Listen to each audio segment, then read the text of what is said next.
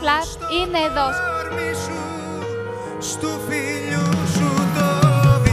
Ελαλούσα εγώ που μέσα μου ευτυχώς που έζησε ο παπάς.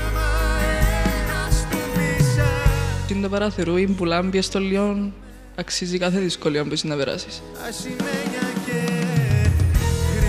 Δεν έχουμε κάποια διαφορετικότητα.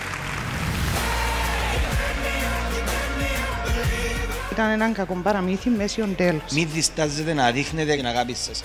Μπορεί να είναι το τελευταίο δευτερόλεπτο.